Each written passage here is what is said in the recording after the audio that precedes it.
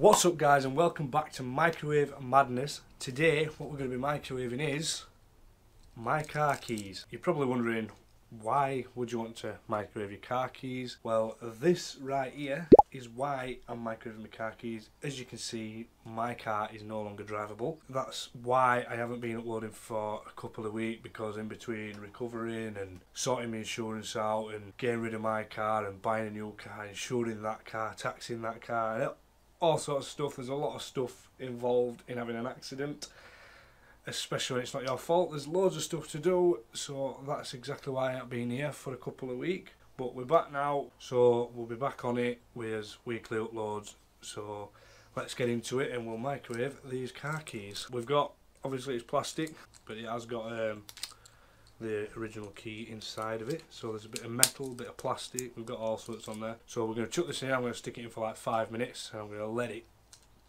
go all the way to five minutes because I don't need these anymore and I don't want to see them about house because I've no longer got my car.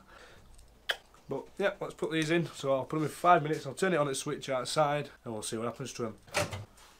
I just want to say, don't try this at home. As you know, I've got um, my fire extinguisher fireproof gloves that's going to be outside with me so I can come in and put it out in case all does go wrong. I'll set this to five, is it five? Five minutes?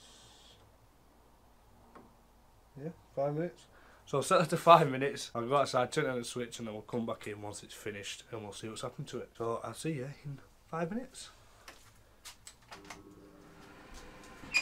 So in three, two, one.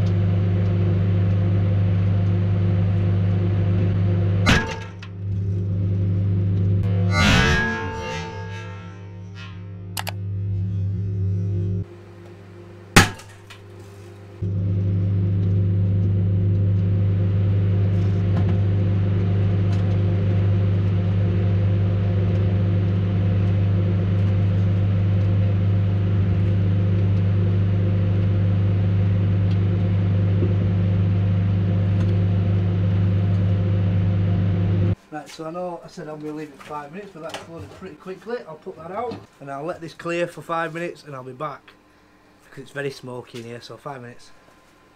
Right, so I know I said I was going to leave them in for five minutes, but they didn't last. I don't think they lasted a minute. It just exploded and went everywhere and then set on fire. So I left it burning for a little bit. No else really was going to happen after that. So let's get this out and we'll have a look and we'll see what exploded. Oh, it's stuck to me plate. Ouch. Wow, that warm. Can I yeah, it's still warm, so I'll keep these gloves on. That's the case for the key. That's the outside plastic shell. There's no left of it, there's no buttons or all left on it. See if we can get the key out. There's a metal key still in there, I don't know if you can see it, but I can see the metal. So the key is in that, but I don't think I'm going to be able to get it out. Obviously that was metal so that won't have melted or anything, but no, I can't get that out. There's something else at the back here. So that's the motherboard, I don't really know how that's got out because it was inside the plastic and the plastic still seems like it's in one piece, well not in one piece but it's obviously melted but there's no holes or out so I don't know how that's come out of the case. But yeah, that's the motherboard. And then this here is what exploded. That is all the pieces of the battery. So that's what exploded. Obviously that were on top. And then that, that's in middle, I'm guessing. So them, them two pieces were together. That's in middle, so that's your battery, and that's just exploded. There's like black liquidy stuff all over. Some sort of battery acid, I should imagine. But that's what's exploded, and that all went with a bang. Quite a big bang to say it's only that small, but that's that. What else in here? Oh, we've just got the little ring thing that was obviously at the end of the key. Oh, one of the buttons, look. One of the unlock buttons. So that's one of the buttons. I don't know where the rest of the buttons are then, if that one's survived. The BMW lock button. We Found that. That's pretty much intact. Might keep that. I think I've got all the pieces out now, so that is it for the keys.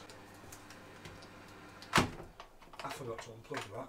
I forgot to unplug the extractor fan, so if you didn't hear me very clear, I apologise, but I've had two week off, so I'm not really with it. But that's it for keys anyway, guys. Um, I hope you enjoyed the video. If you did, leave a like and make sure you comment down below what else you want to see me put in this microwave, and then we'll try and get it in for you. Make sure you subscribe, guys, and I will see you in the next video.